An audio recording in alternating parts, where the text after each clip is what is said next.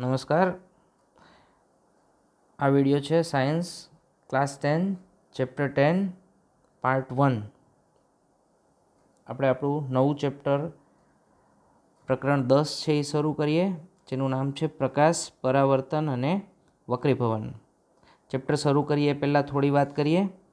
આ ચેપ્ટરના total weightage અથવા તો ટોટલ માર્ક્સ છે બોર્ડની, એક્ઝામની અંદર છ માર્ક્સ. જેની અંદર એક પ્રશ્ન હોય છે, એક માર્ક્સનો, એક પ્રશ્ન છે બે માર્ક્સનો અને એક પ્રશ્ન છે ત્રણ માર્ક્સનો. એટલે અહીંયા તમે નંબર ઓફ ક્વેશ્ચન વિચારી શકો, ત્રણ છે પાઠમાંથી પૂછાય એવા અને ટોટલ માર્ક્સ આપણને છે છ માર્ક્સ.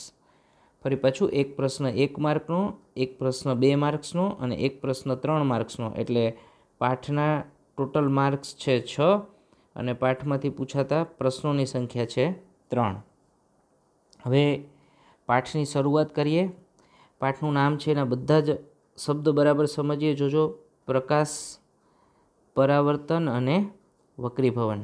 તમે અત્યાર સુધી જે અભ્યાસ કર્યો એની અંદર ક્યાંક ને ક્યાંક આ નામ વિશેનો ઉલ્લેખ તમારે આવી જ ગયો છે. અહીંયા આપણે ખાલી વાત કરવી હોય કે પ્રકાશ એટલે શું? તો આપણે એવું કહી શકીએ કે આંખમાં સંવેદના ઉપજાવતા વિદ્યુત ચુંબકીય વિકિરણ એને પ્રકાશ કહેવામાં આવે છે. ઘણી વખત એક માર્ક્સમાં વ્યાખ્યા પૂછાતી હોય છે, પ્રકાશની વ્યાખ્યા આપો તો તમે એવું કહી શકો કે આંખમાં સંવેદના ઉપજાવતા વિદ્યુત ચુંબકીય વિકિરણને પ્રકાશ કહેવામાં આવે છે. પરાવર્તન એટલે શું એનો તમને ખ્યાલ છે થોડો ઘણો? જ્યારે પ્રકાશ છે કોઈ સપાટી ઉપર અથડાય અને અથડાઈને પાછો ફેંકાય. એટલે કે પ્રકાશનું સપાટી ઉપર અથડાઈને પાછા ફેંકાવાની ઘટના છે, એને પ્રકાશનું પરાવર્તન એવું કહેવામાં આવે છે. પછીની વાત છે વક્રીભવન.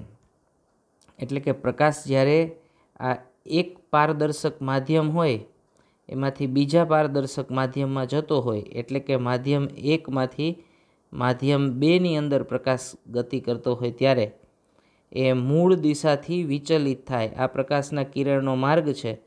આ માર્ગ મૂળ દિશાથી વિચલિત થયો. એટલે કે મૂળ દિશા એટલે આ સીધે સીધી જતું હોય તો એ મૂળ દિશા થઈ. આ મૂળ દિશાથી વિચલિત થવાની જે ઘટના છે, એને પ્રકાશનું વક્રીભવન કહેવામાં આવે. આપણે બધી જ વસ્તુ વિશે પાઠની અંદર ડિટેલ સમજવાનું છે. પ્રકાશ વિશેનું, પ્રકાશનું સ્વરૂપ, પ્રકાશનું પરાવર્તન એટલે શું, એના નિયમો વિશેની વાત કરશી. એને આધારિત ઘણી બધી વ્યાખ્યાઓ દાખલાઓ એની વિશેની વાત કરશી. બીજામાં પ્રકાશના વક્રીભવન વિશેની વાત પણ ડિટેલમાં આપણને ચેપ્ટરમાં આપેલી છે. આપણે આપણી એનસીઆરટીની સ્ટ્રેટજી પ્રમાણે દરેકે દરેક લીટીનો અભ્યાસ કરતા જઈએ. જોઈએ અહીંયા બુકમાં આપેલું છે એ પ્રમાણે. વિશ્વમાં આપણી આસપાસ રહેલી અનેક પ્રકારની વસ્તુઓ આપણે જોઈએ છીએ. જોકે અંધારા ઓરડામાં આપણને કંઈ પણ જોવા માટે અસમર્થ છીએ. ટૂંકમાં આપણી આજુબાજુની રહેલી વસ્તુઓ તમે જોઈ શકો છો આરામથી. જ્યારે પ્રકાશ હોય તો તમે બધી વસ્તુઓ જોઈ શકો છો. પણ અંધારા ઓરડામાં આપણે કંઈ પણ જોવા માટે અસમર્થ છીએ એટલે કે આપણને અંધારા ઓરડાની અંદર જોઈ શકાતું નથી. ઓરડાને પ્રકાશિત કરતાં તેમાં રહેલી વસ્તુઓ દૃશ્યમાન થાય છે. એટલે કે જેવો ઓરડામાં પ્રકાશ આવે તો એ બધી વસ્તુઓ આપણને દેખાય છે દૃશ્યમાન થાય છે. એક ક્વેશ્ચન પૂછી શકાય અહીંયાથી, જોજો. શાનાથી વસ્તુઓ દૃશ્યમાન થાય છે. એટલે આપણને વસ્તુઓ દેખાય છે કેવી રીતના? એનો જવાબ એના પછીની લીટીઓની અંદર જ આપેલો છે. તમે સીધી રીતે પણ એનો જવાબ વિચારી શકો ડાયરેક્ટલી પણ કે પ્રકાશ આજુબાજુમાં હોય તો એના કારણે આપણને વસ્તુઓ દેખાય છે. અંધારા ઓરડામાં વસ્તુઓ જોવા માટેની તકલીફ પડે છે. બીજું, પ્રકાશ કોઈ વસ્તુ ઉપર પડે અને પરાવર્તિત થતો હોય તો પરાવર્તિત પ્રકાશને કારણે આપણે એ વસ્તુઓ જોઈ શકીએ છીએ. જોઈએ એમાં દિવસ દરમિયાન સૂર્યનો પ્રકાશ આપણને વસ્તુઓને જોવા માટે મદદરૂપ થાય છે. એટલે સૂર્યપ્રકાશની મદદથી આપણે જોઈ શકીએ છીએ. વસ્તુ તેની પર પડતા પ્રકાશને પરાવર્તિત કરે છે. કોઈ પણ વસ્તુ ઉપર પ્રકાશ આવે, આપાત થાય અને પ્રકાશનું પરાવર્તન થાય છે. આ પરાવર્તિત પ્રકાશ જ્યારે આપણી આંખ દ્વારા પ્રાપ્ત થાય છે, ત્યારે આપણને વસ્તુઓ દેખાવા શક્તિમાન બનાવે છે. એટલે કે કોઈ વસ્તુ ઉપર પ્રકાશના કિરણો પડે છે, એનું પરાવર્તન થાય અને પરાવર્તિત કિરણો આપણી આંખની અંદર પ્રવેશે અને જેના કારણે આંખના અંદર રહેલો પડદો એટલે કે રેટિના ઉપર પ્રતિબિંબ રચાય.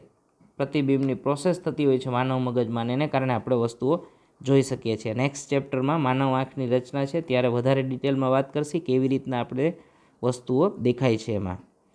આગળ, આપણે પારદર્શક માધ્યમની આરપાર જોઈ શકીએ છીએ.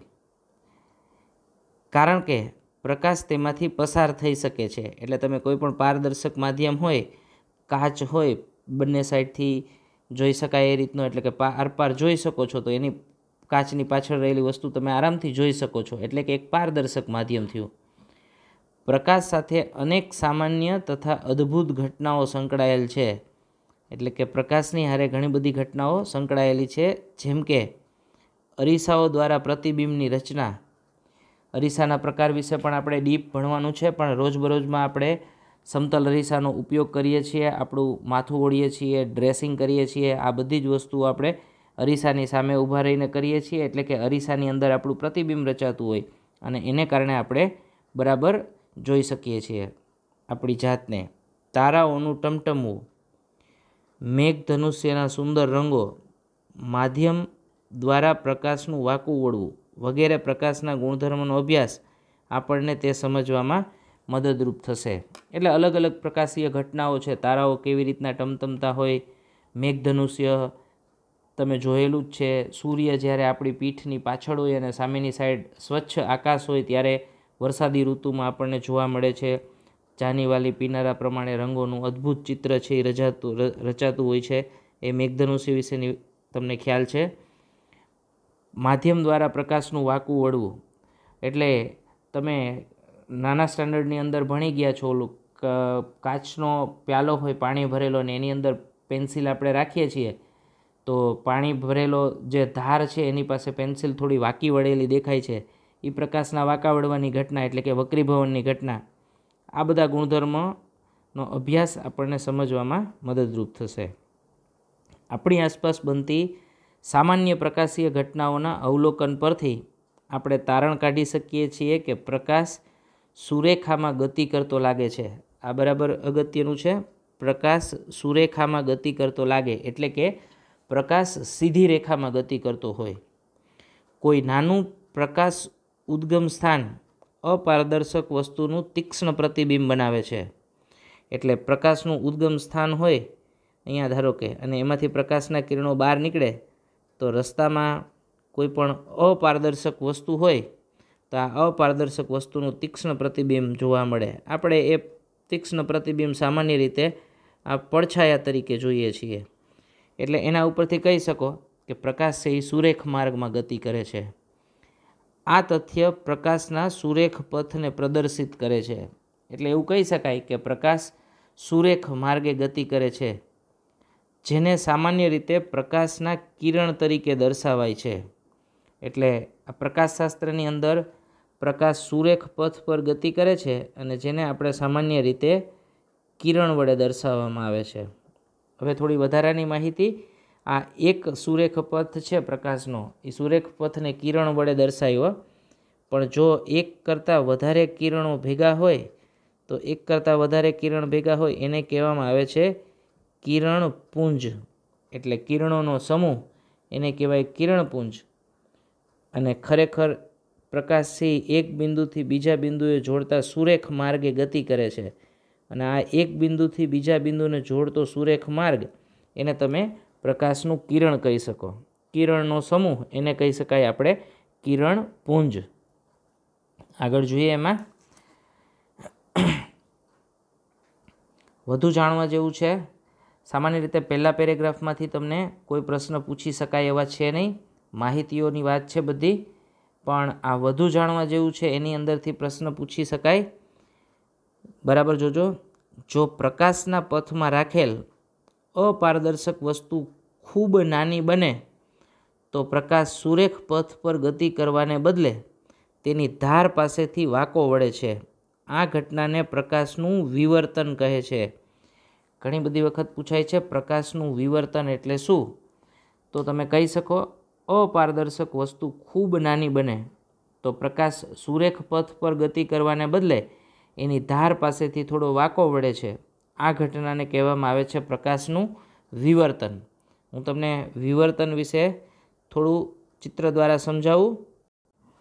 અહીંયા આ બ્લેડના ચિત્રની અંદર તમે જોઈ શકો છો, આ પાછળની સાઈડ પ્રકાશ હોય તો અપારદર્શક વસ્તુ છે. એમાંથી બહાર નથી આવતો, પણ જ્યાંથી પ્રકાશને આવવા માટેની જગ્યા છે, એમાંથી પ્રકાશ બહાર નીકળશે અને તમને પ્રકાશિત ભાગ છે એ જોવા મળશે. એટલે કે આ બ્લેડના આ બધા ભાગ છે, અહીંયાથી નાના નાના ભાગ છે, આ બધા ભાગમાંથી પ્રકાશ બહાર આવતો દેખાય છે. આ પ્રકાશના વિવર્તનની ઘટનાનું ઉદાહરણ છે. હવે બીજું સાવ સિમ્પલ સ્ટેપમાં સમજવું હોય તો આવું છે. આ કોઈ એક અડચણ છે, ધારો કે સ્લીટ બનાવેલી છે, એટલે કે અહીંયાથી પ્રકાશ પસાર ના થઈ શકે, માત્ર નાનકડો ભાગ છે. હવે આ પ્રકાશના તરંગો છે, સમતલ તરંગો. વધારે અભ્યાસ તમારે અગિયાર સાયન્સની અંદર, બાર સાયન્સમાં એની અંદર આવશે બધો અભ્યાસ. પણ આ સમતલ તરંગો કોઈ સ્લીટ ઉપર આપાત થાય, તો આ અડચણની ધાર પાસેથી પ્રકાશના તરંગો આમ વાંકા વળી જાય છે. આ પ્રકાશના તરંગો વાંકા વળે છે, એટલે કે એ સુરેખ માર્ગે ગતિ કરતા હોય છે, એને બદલે અહીંયા વળાંક લઈ લે છે. આ ઘટનાને પ્રકાશનું વિવર્તન કહેવામાં આવે છે.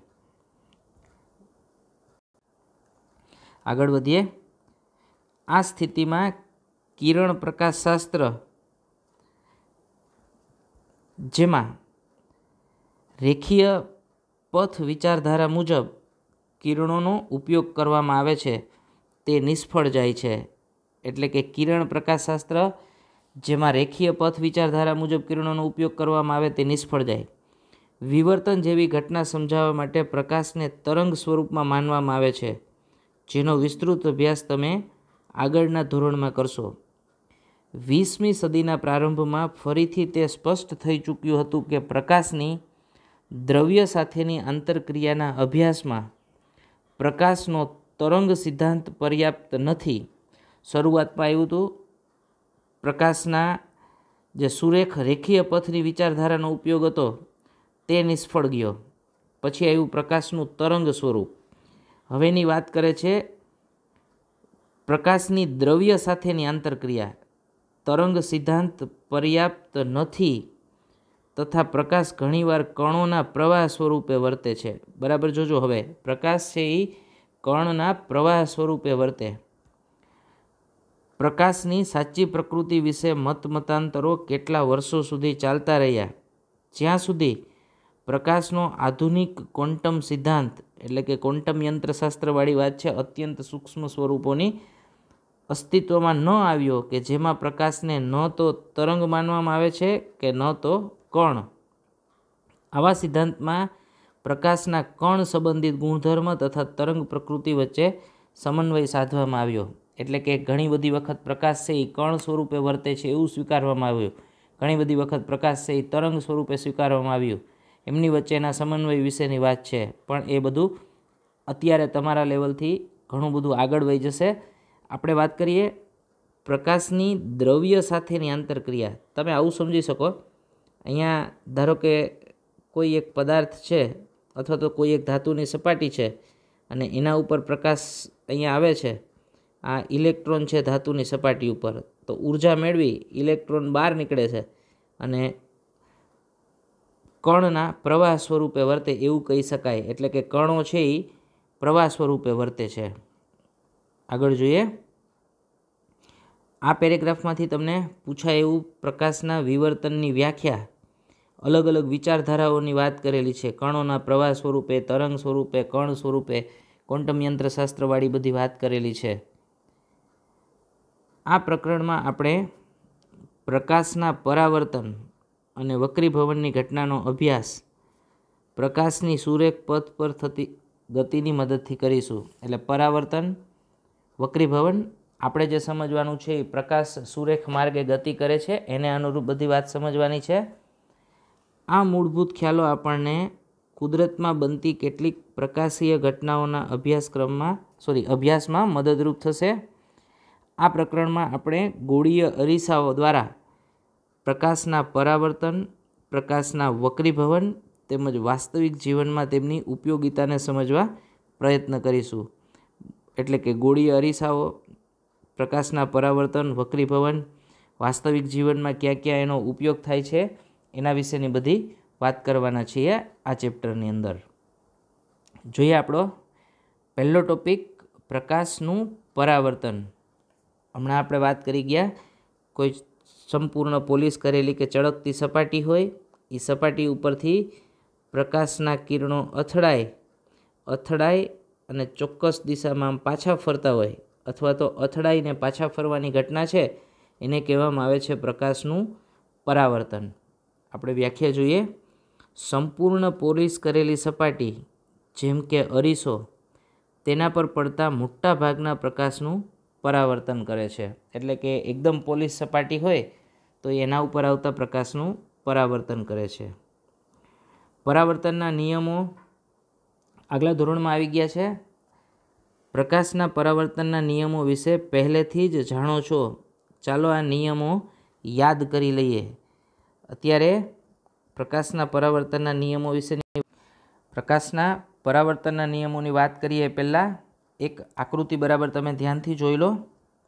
અહીંયા આકૃતિમાં કોઈ એક સપાટી છે. આ સપાટીએ હું બરાબર કોઈ એક લંબ દોરી લઉં છું. અહીંયા સપાટીને દોરેલો લંબ છે. લંબ પાસે કોઈ એક બિંદુ છે. એ બિંદુનું નામ આપણે આપીએ છીએ આપાત બિંદુ.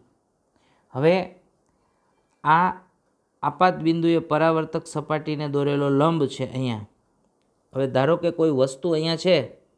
અને એ વસ્તુમાંથી પ્રકાશના કિરણો આવે છે.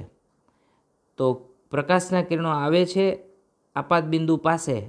આ વસ્તુમાંથી આવતા પ્રકાશના કિરણોના માર્ગને અથવા તો પ્રકાશના કિરણને આપણે કહેશી આપાત કિરણ. આ ઓ પાસે કિરણ આપાત થાય, અથડાઈને આમ પાછું ફેંકાય છે, એને આપણે કહેશી પરાવર્તિત કિરણ. એટલે કે અત્યારે આપણી પાસે ચાર વસ્તુ થઈ. એક વાત કરી આપણે આપાત બિંદુ. આપાત બિંદુએ દોરેલો લંબ. એક વાત કરી આપણે આપાત કિરણ અને બીજી વાત છે પરાવર્તિત કિરણ. હું તમને બરાબર એક બે વ્યાખ્યા વિશેની વાત કરું. આપાત કોણ ખરેખર કોને કહેવાય અને પરાવર્તન કોણ કોને કહેવામાં આવે? તમે આકૃતિ બરાબર ધ્યાનથી જોજો. આ આપાત બિંદુએ સપાટીને દોરેલા લંબ સાથે એટલે કે આપાત બિંદુ છે, અહીંયા સપાટીને દોરેલો લંબ છે. આ આપાત કિરણે જે ખૂણો બનાવે, એ ખૂણોને કહેવામાં આવે આપાત કોણ. હું ફરીથી વ્યાખ્યા બોલું છું. આપાત બિંદુએ પરાવર્તક સપાટીને દોરેલા લંબ સાથે આપાત કિરણ જે ખૂણો બનાવે, એ કોણને કહેવામાં આવે આપાત કોણ. તમે પરાવર્તન કોણની વ્યાખ્યા જાતે બનાવી શકો. જોજો બરાબર.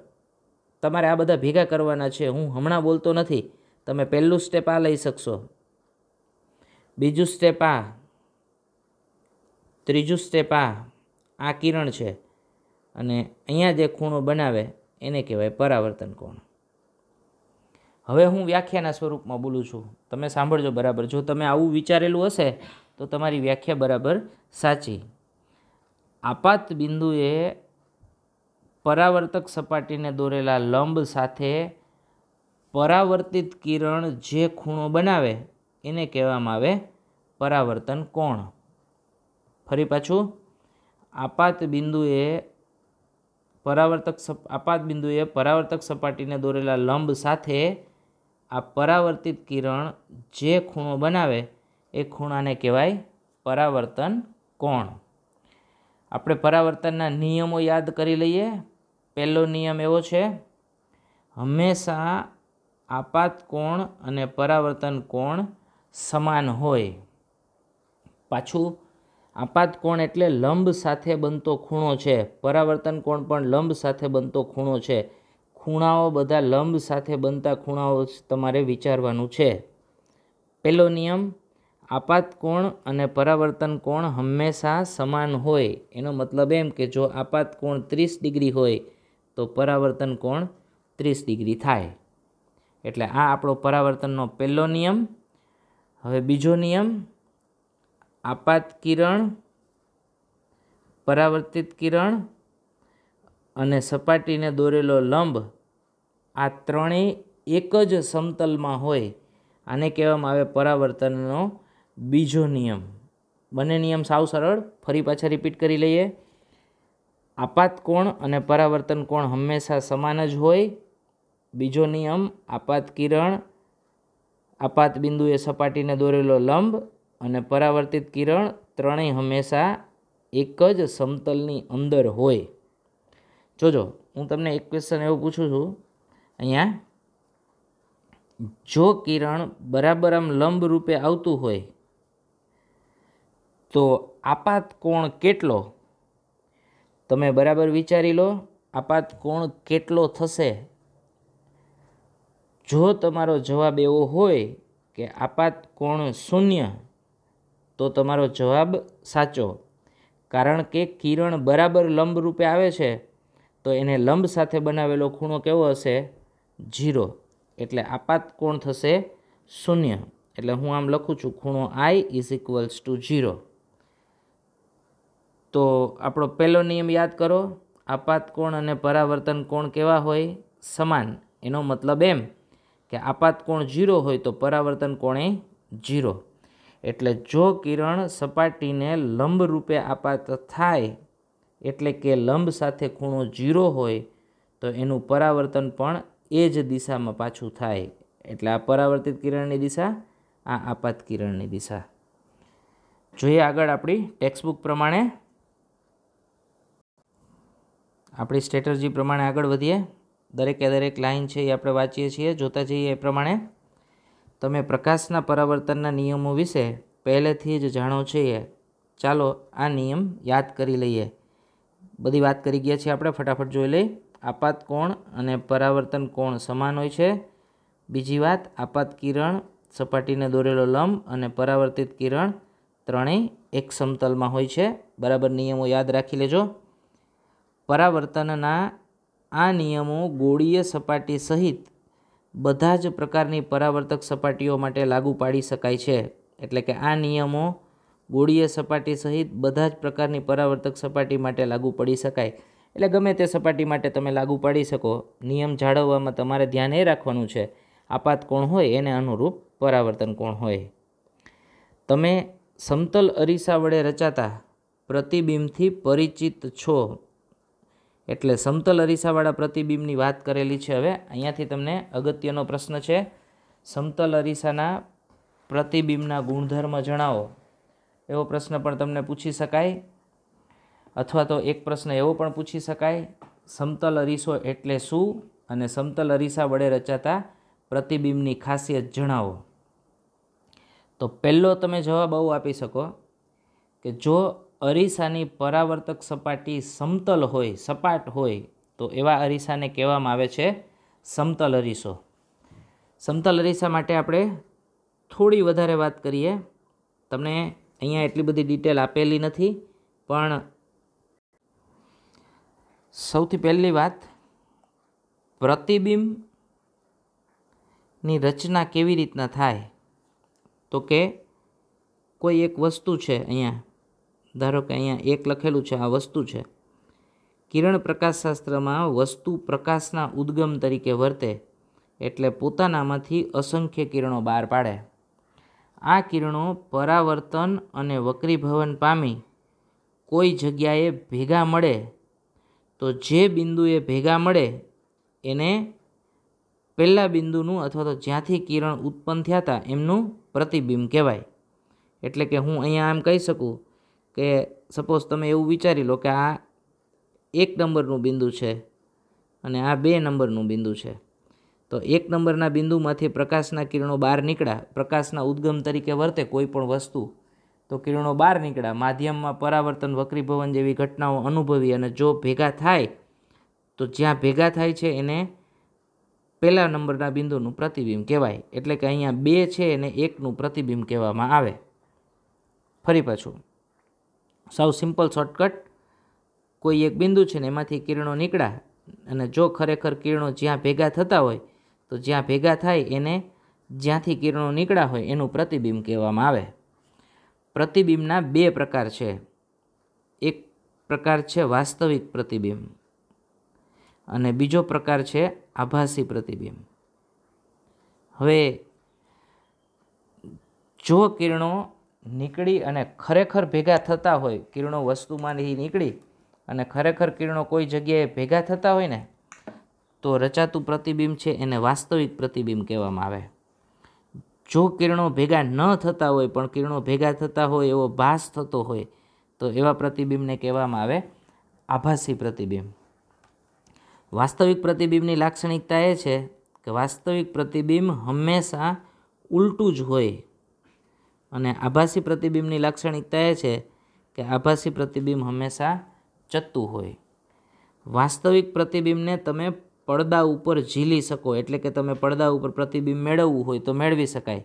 જ્યારે આભાસી પ્રતિબિંબને આપણે પડદા ઉપર ઝીલી શકીએ નહીં. આ તમને વાત થઈ વસ્તુનું પ્રતિબિંબ કેવી રીતના રચાય, પ્રતિબિંબના પ્રકારો અને પ્રતિબિંબને પ્રકારની લાક્ષણિકતાઓ. આ બરાબર યાદ રાખજો. ખરેખર ભેગા થતા હોય તો વાસ્તવિક વાસ્તવિક પ્રતિબિંબ હંમેશા કેવું હોય? ઉલટું જ. વાસ્તવિક પ્રતિબિંબને પડદા ઉપર ઝીલી શકાય.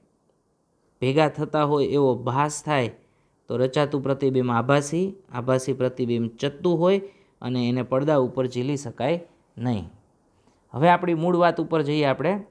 સમતલ અરીસા વડે કેવી રીતના પ્રતિબિંબ રચાય એની વાત. ધારો કે અહીંયા હું એવું વિચારું કે કોઈ એક સમતલ અરીસો છે, આપણે એને નામ આપીએ એમ એમ ડેશ. એક સમતલ અરીસો છે. અને સમતલ અરીસાની બરાબર સામે એક વસ્તુ મૂકેલ છે. આ વસ્તુ છે, વસ્તુની સંજ્ઞા આપણે એ બી વડે દર્શાવીએ. ધારો કે આ કોઈ એક વસ્તુ છે, એ બી. હવે આમાંથી પ્રતિબિંબ મેળવવું હોય એટલે કોઈપણ જગ્યા ઉપરથી અથવા તો વસ્તુ છે એ પ્રકાશના ઉદ્ગમ તરીકે વર્તે. એટલે હું અહીંયા બરાબર જોજો, એ પાસે આપણી વસ્તુ છે, એનો પોઈન્ટેડ ભાગ છે, તીર જેવો ભાગ છે, એનું પ્રતિબિંબ મેળવવા માટેનો પ્રયત્ન કરું. તો વસ્તુ પ્રકાશના ઉદ્ગમ તરીકે વર્તે, પોતાનામાંથી અસંખ્ય કિરણો બહાર પાડે. તમારે પ્રતિબિંબ મેળવવા માટે ઓછામાં ઓછા બે કિરણોની જરૂર પડે. એટલે એવું વિચારો કે એક કિરણ એમાંથી નીકળું અને બરાબર અરીસાને લંબરૂપે આપાત થયું. તો હવે તમે જાણો છો પરાવર્તનના નિયમ પ્રમાણે. જો લંબરૂપે આપાત થતું કિરણ હોય તો એનું પરાવર્તન થાય પાછું એ ને એ દિશામાં. એટલે અહીંયા હું ધારો કે નામ આપું એ એન એટલે આ એ એન આપાત કિરણ થયું. એનથી એ વાત કરું તો એ થશે પરાવર્તિત કિરણ. હવે બીજું એક કિરણ અહીંથી હું આમ દોરું છું. એ ક્યુ આ કિરણને હું એ ક્યુ કહી દઉં. આ આપાત કિરણ થયું. તીરની નિશાની દરેક વખતે દર્શાવવી અત્યંત અગત્યની, કારણ કે એ કિરણોની દિશા દર્શાવે છે. એટલે અત્યારે આપણે કહી શકાય કે ભાઈ એ ક્યુ છે એ આપાત કિરણ થયું. હવે મારે અહીંયા પરાવર્તિત કિરણ દોરવું હોય તો પરાવર્તનના નિયમો પ્રમાણે અહીંયા જે ખૂણો રચાણો એ આપાત કોણ થશે? અને સેમ એટલા જ ખૂણે કિરણ છે એ પરાવર્તન પામશે એટલે કે અહીંયા જેટલો આપાત કોણ હશે, અહીંયા આઈ કહી દઉં, તો એટલા જ ખૂણે પરાવર્તન પામશે એને હું આર કહું છું. હવે જોજો, આ એમાંથી બે કિરણો નીકળી ગયા. એક કિરણ એ એન અને બીજું કિરણ એ ક્યુ અહીંયા ક્યુ આર પરાવર્તિત કિરણ છે એવું કહીએ આપણે. તો આ બાજુનું પરાવર્તિત કિરણ એન એ આમ આગળ વધે છે. એન એ દિશામાં અને આ કિરણ આમ આગળ વધે છે. તો તમે બંને કિરણો વિશે જોઈ શકો છો પરાવર્તનની દિશા. આ બંને કિરણો ડાબી સાઈડ ક્યાંય ભેગા નહીં થાય, આમ છૂટા પડતા કિરણો છે. અપસારી કિરણો કહેવામાં આવે ખરેખર. તો હવે હું જો આ બંને કિરણોને આમ પાછળ લંબાવું, પાછળ લંબાવવું એટલે ખરેખર આ બંને કિરણો એક જગ્યાએ ભેગા થતા હોય એવું લાગે. અહીંયા ભેગા થાય છે બંને કિરણો. એટલે ત્યાં મને એનું પ્રતિબિંબ મળશે. એને હું નામ આપું છું એ ડેશ અને હવે હું એનું પ્રતિબિંબ મળ્યું, મને એ ડેશ હું એ બીવાળી વસ્તુને ઘણા બધા બિંદુઓમાં વિચારું ને બધા જ બિંદુઓ માટે આવા બબે કિરણો મેળવું અને છેલ્લે પ્રતિબિંબ મેળવતો જાઉં, તો મને એ ડેશ બી ડેશ પ્રતિબિંબ મળશે. એટલે કે આ સમતલ અરીસા વડે પ્રતિબિંબની રચના કેવી રીતના થાય એના વિશેની વાત. હવે આ પ્રતિબિંબની લાક્ષણિકતા એવી છે, અહીંયા અરીસાથી વસ્તુ છે એને અંતરને હું યુ કહી દઉં છું, વસ્તુ અંતર. અને અરીસાથી મને જે પ્રતિબિંબ મળેલ છે એને હું પ્રતિબિંબ અંતર કહી દઉં, વી. તમે અત્યારે આકૃતિ આપણે જે દોરેલી છે એ આકૃતિ ઉપરથી આવું વિચારી શકો. કે વસ્તુ અંતર અથવા તો વસ્તુ જેટલા અંતરે છે ને, એટલા જ અંતરે પ્રતિબિંબ રચાતું હોય. એટલે સમતલ અરીસાની પહેલી લાક્ષણિકતા આવી કહી શકાય કે વસ્તુ અંતર અને પ્રતિબિંબ અંતર સરખા જ હોય છે. બીજી લાક્ષણિકતા એવી, ધારો કે વસ્તુની ઊંચાઈ એચ લઉં છું હું અને પ્રતિબિંબની ઊંચાઈને એચ ડેશ કહું, તો એચ બરાબર એચ ડેશ જ થાય. એટલે કે વસ્તુ અને પ્રતિબિંબની ઊંચાઈ એક જ સરખી હોય. પણ ત્રીજી અને અગત્યની વાત, પ્રતિબિંબમાં બાજુઓ ઉલટાયેલી હોય. એટલે હવે બાજુઓ ઉલટાયેલી હોય એનો અર્થ કરવો હોય તો હું આવું કહી શકું.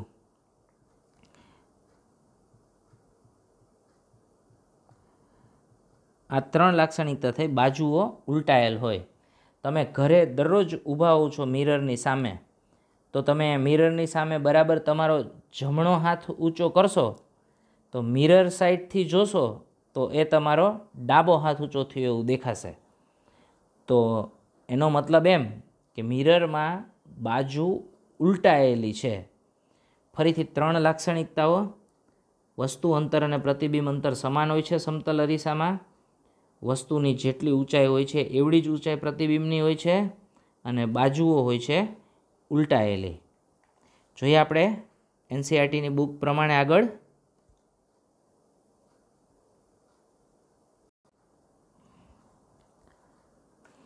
પરાવર્તનના આ નિયમો ગોળીય સપાટી સહિત બધા જ પ્રકારની પરાવર્તક સપાટી માટે લાગુ પાડી શકાય છે. જોઈ ગયા છીએ આપણે. સમતલ અરીસડ વડે રચાતા પ્રતિબિંબથી પરિચિત છો પ્રતિબિંબના ગુણધર્મ કેવા હોય છે? આ તમને પૂછાય એવો પ્રશ્ન. પ્રતિબિંબના ગુણધર્મ કેવા હોય છે? પહેલું, સમતલ અરીસા દ્વારા મળતું પ્રતિબિંબ હંમેશા આભાસી અને ચત્તું હોય છે. પ્રતિબિંબનું માપ વસ્તુના માપ જેટલું હોય છે. એટલે આ પહેલી લાક્ષણિકતા આભાસી અને ચત્તુ બીજું પ્રતિબિંબ વસ્તુ જેવડું હોય છે, ત્રીજું પ્રતિબિંબ અરીસાની પાછળ તેટલા જ અંતરે રચાય છે, જેટલા અંતરે અરીસાની આગળ વસ્તુ રાખેલ હોય. ઉપરાંત, પ્રતિબિંબની બાજુઓ ઉલટાયેલી હોય છે. હવે પરાવર્તક સપાટી ગોળીઓ હોય તો કેવી રીતના પ્રતિબિંબ રચાય એ આપણે આગળ જોવાનું છે. હજી એક ક્વેશ્ચન અગત્યનો આની તો વાત કરી જ ગયા આપણે, સમતલ અરીસો એટલે શું અને એના પ્રતિબિંબના ગુણધર્મ કેવા હોય? આ તમને એક્ઝામમાં ખાસ પૂછાય એવો પ્રશ્ન છે. એક ક્વેશ્ચન આવો પણ પૂછાતો હોય છે ઘણી બધી વખત. સમતલ અરીસો છે, એના સામે ધારો કે બે સેન્ટીમીટર અંતરે કોઈ વસ્તુ રહેલ છે, અહીંયા સમતલ અરીસાની સામે બે સેન્ટીમીટર અંતરે ધારો કે કોઈ એક વ્યક્તિ ઊભો છે, કોઈ વસ્તુ છે, તો વસ્તુ અને એના પ્રતિબિંબ વચ્ચેનું અંતર જણાવો. આ વસ્તુ છે એ બે સેન્ટીમીટર અંતરે હોય તો વસ્તુ અને પ્રતિબિંબ વચ્ચેનું અંતર જણાવો. તો તમે કહી શકશો, વસ્તુ બે સેન્ટીમીટર અંતરે હોય તો પ્રતિબિંબ પણ ત્યાંથી બે સેન્ટીમીટર અંતરે હોવાનું છે. તો વસ્તુ અને પ્રતિબિંબ વચ્ચેનું અંતર કેટલું થઈ જશે? ચાર સેન્ટીમીટર. હવે આપણી પ્રવૃત્તિ દસ પોઈન્ટ એક, આપણા નેક્સ્ટ વિડીયોની અંદર આપણે જોઈશી.